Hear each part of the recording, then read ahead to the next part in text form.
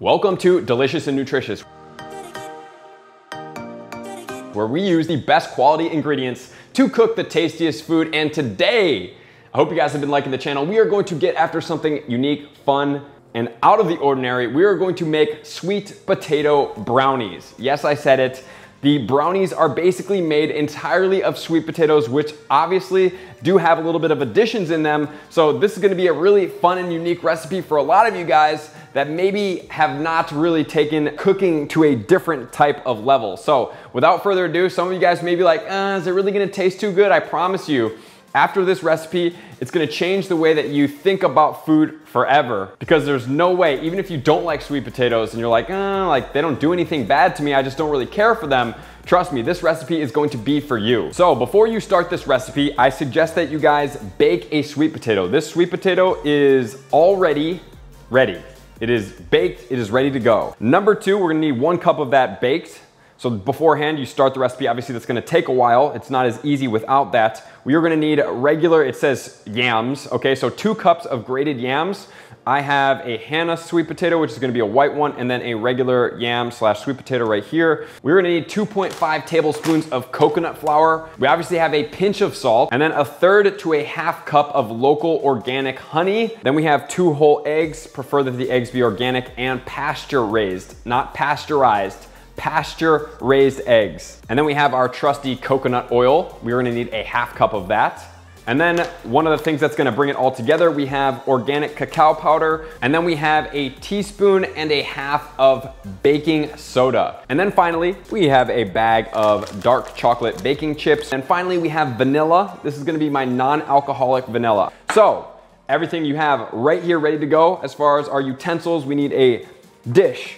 We need our cups and our measuring spoons, and then we need a grater as well as our bowls. And then our oven is gonna be wanted to put on right now for 360 degrees for approximately 30 minutes. So with all that said, let's start off. Number one step is gonna be combining all of the wet ingredients into one place that's why I say two bowls because you do all the wet ones, then you wanna combine the dry ones and make sure you mix them up. Sometimes that's a little bit of a problem. So wet ingredients are starting right now, including both sweet potatoes. So first and foremost, we need to grate. We're gonna need two cups.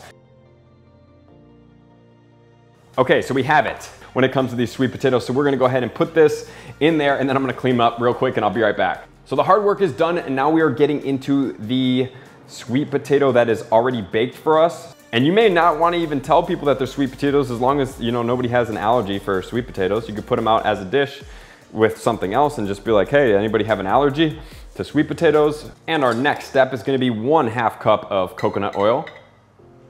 It's already melted for us. It's been a little humid out here, so it's been kind of just staying at a melted temperature.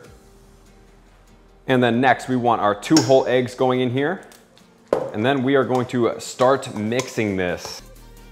Okay, and the next two things, we are going to use honey. I guess you could also use maple syrup. So this is gonna call for a third to a half cup. So this one is going to be the white honey, organic, 100%.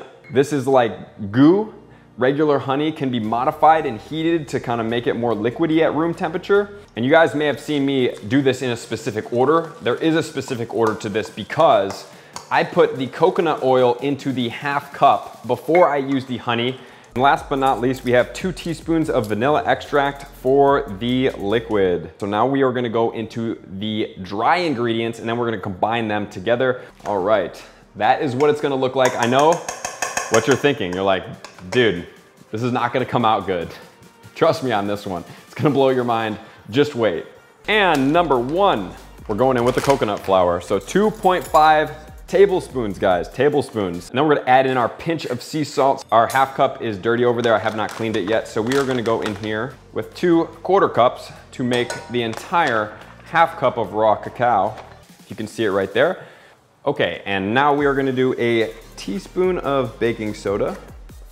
Please make sure to get the natural version of baking soda. It should be strictly sodium bicarbonate. A little bit of arrowroot powder. So I'm gonna go for approximately a third teaspoon of arrowroot powder. And now it's time to stir this all together. And now it's time to combine. So since we have already stirred up the wet ingredients,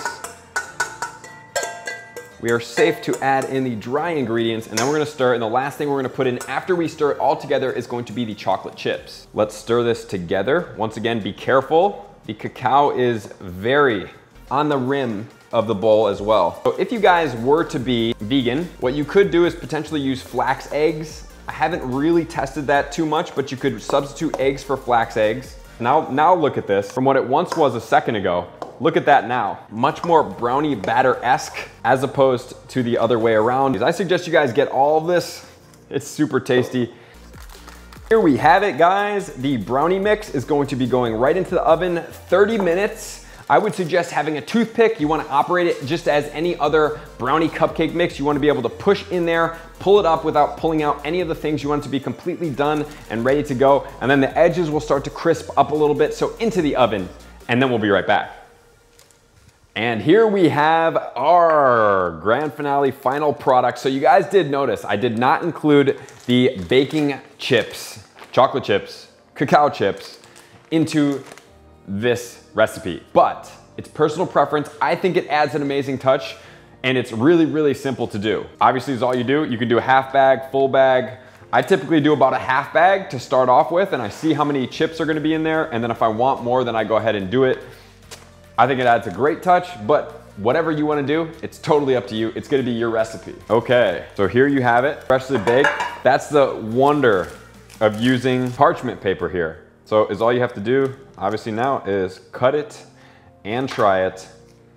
There you go, look at that right there. Nice deep chocolate brownie. Bon appetit. it's really good.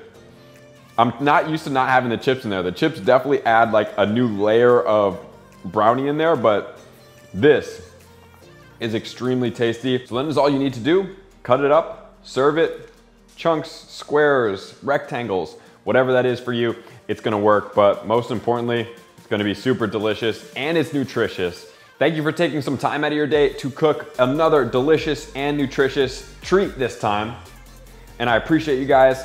And these are gonna be dark chocolate brownies. If you want them to be a little bit lighter, what you can do is sub out a little bit of the cacao powder, keep it in the same ratio, with a little bit of coconut sugar so you can kind of push it a little bit more towards the lighter and a little bit more towards the sweeter because that's really the difference between dark chocolate and light chocolate. It's the amount of cacao or cocoa, depending on if they use cacao or modified cocoa, and pushing it more towards the sweetness. So thank you guys for cooking with me today. Appreciate you guys being a part of Delicious and Nutritious, where we are gonna cook more food so that we can keep changing the world one bite at a time. I hope you guys have a wonderful day.